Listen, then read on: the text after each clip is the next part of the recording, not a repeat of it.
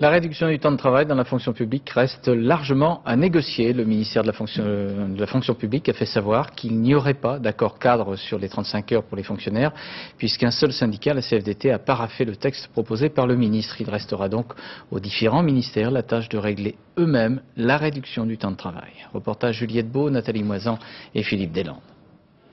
Enseignants, policiers ou infirmières, ils ont tous des horaires de travail différents.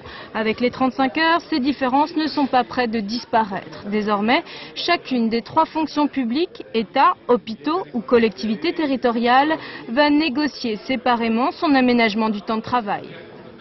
L'accord cadre, proposé il y a trois semaines à l'ensemble des fonctionnaires, a été refusé par la quasi-totalité des syndicats. Au cœur de ce refus, il y a une question centrale, c'est celle de l'emploi. C'est-à-dire qu'on est dans une situation où le gouvernement ne prend aucun engagement et refuse la création d'emplois, alors même que l'objectif de la réduction de temps de travail, c'est aussi de faire face euh, à cette question de l'emploi.